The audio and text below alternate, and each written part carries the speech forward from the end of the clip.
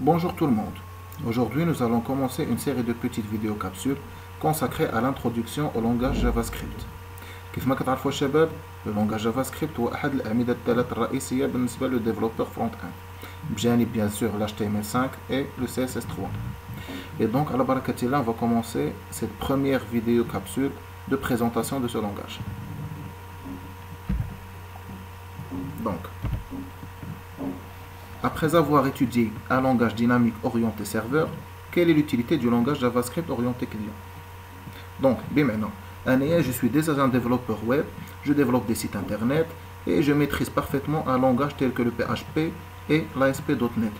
Et bien sûr, avec JavaScript, le PHP et l'ASP le font déjà. Donc, pourquoi je vais essayer d'apprendre un nouveau langage tel que le JavaScript? Et on va voir par la suite, pour maîtriser ce langage, quelles seront les clés de réussite. Le langage JavaScript, comme n'importe quel langage de programmation, c'est un langage qui est très vaste, pour le maîtriser, il y a deux briques fondamentales, on va arriver à le maîtriser. Donc, on va commencer par l'utilité du JavaScript باش نعرفوا l'utilité on va commencer par l'analyse de l'existant وغادي نشوفوا شنو هي la problématique et pour trouver la solution par la suite le fonctionnement d'exécution admettons qu'on va maintenant d'abord on va naviguer sur un site internet les est programmé par un langage de programmation orienté serveur tel que le PHP ou euh, l'ASP.NET l'essentiel c'est qu'il sollicite le serveur Admettons que d'abord j'essaie de, remplir un formulaire et je vais faire un envoi. Premièrement, le client, le navigateur, il va envoyer une requête au serveur. Le serveur il va interpréter avec le script dynamique, soit le PHP ou l'ASP.NET.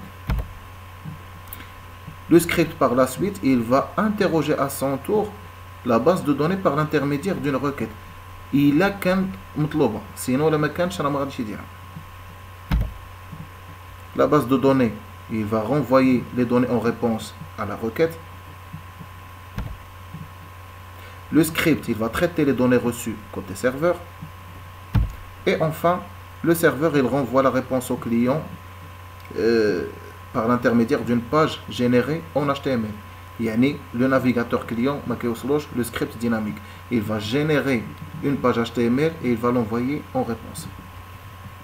Donc en gros le processus qui se déclenche lors de l'envoi d'une requête à un navigateur. Mais je est la problématique. Un exemple si par exemple on veut remplir un formulaire كلنا تعرضنا لهذه القضية هذه وكلنا فايت لينا عمرنا دي فورمولير شحال الاحتمال ديال أن يكون عندنا الخطأ وارد في الملء نتاع الفورمولير بزاف. كاين فينا اللي عمر لي فورمولير باغ اكزومبل امات ريبريز كاين ممكن يعمر ثلاثة وأربعة وخمسة وستة وعشرة ديال المرات عاد كيصدق له الفورمولير باغ اكزومبل شنو هو المشكل؟ المشكل سي كو à chaque fois que je vais cliquer sur le bouton d'envoi je vais déclencher avec le processus كامل يعني غادي نعمر لو فورمولير المره الاولى je vais cliquer sur envoyer غادي يصيفط le serveur pour vérification il va procéder à la vérification effectivement غادي يلقى بانه لا ديتيكتي كاين اون ايرور غيعاود يصيفط ليا غادي يقول لي باغ اكزومبل راه كاين اون ايرور او نيفو ديال الايميل عاود عمر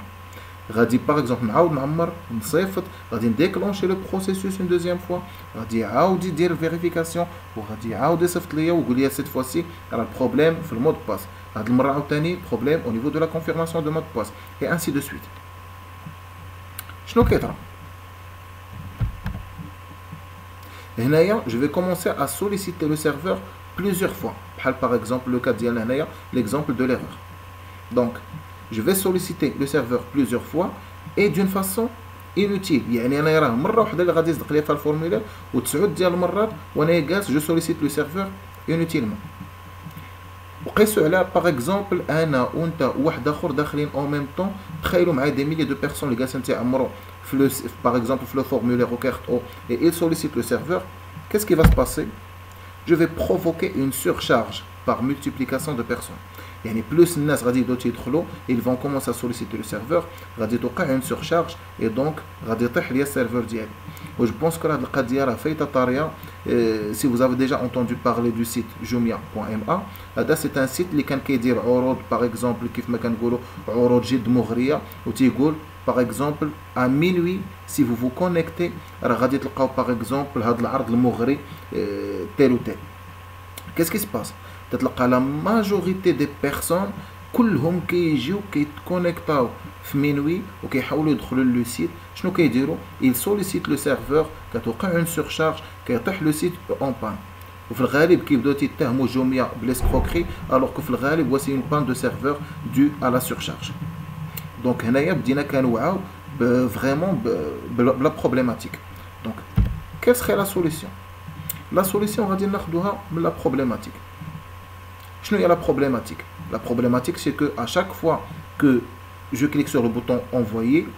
euh, Radim déclenche le processus camel de vérification au niveau du serveur. J'essaie de procéder à la vérification locale. Il y a le navigateur sans déclencher le serveur. Voilà. Et donc, il faudra éviter de faire appel au serveur inutilement. Pour ce faire, ما يمكنش ليا نديرها بلا اس بي دوت نت او لا بي اش بي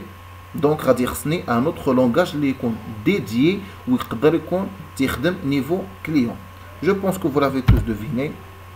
ça sera le rôle du JavaScript voilà d'abord بعد ما عرفنا l'utilité du langage JavaScript on va essayer de savoir quelles sont les clés de la maîtrise de ce fameux langage pour maîtriser le langage كاينين عنده deux briques fondamentales il faudra les maîtriser la première هي الدوم اللي جايه من كلمه document object model باش نسهل عليكم المعرفه ديال الدوم الدوم tout simplement c'est un arbre qui va me permettre باش انني نوصل n'importe quelle balise HTML au sein de ma page web كيف ما كتعقلوا في لو كور ديال سي اس اس نورمالمون فاش كنا كنبغيو نوصل ان اليمون اتش تي ام ال كانوا عندنا ثلاثه ديال الطرق كنوصلوا ليه باغ لانترميديير ديال اي دي اولا باغ لانترميديير دو لا كلاس اولا باغ لانترميديير دو سيليكتور هنايا نفس الشيء لو لونغاج جافا سكريبت il me permet انني نوصل n'importe quel élément ou n'importe quelle balise HTML au sein de ma page web mais par l'intermédiaire de ce DOM اللي غادي نتعرفوا عليه في لي سيونس الجايين par la suite Et la deuxième brique est aussi intéressante, il y a la fonction. Tout simplement, une fonction. Une fonction, c'est un sous-programme. يعني اللي فيه واحد l'ensemble d'instructions اللي المهمة ديالهم انهم يديو واحد لا tâche اللي هي précise. Et donc هنايا غادي نحاولوا نتعلموا نديروا une fonction en deux étapes. La première, je dois être capable de coder une fonction. Et la deuxième, je dois savoir comment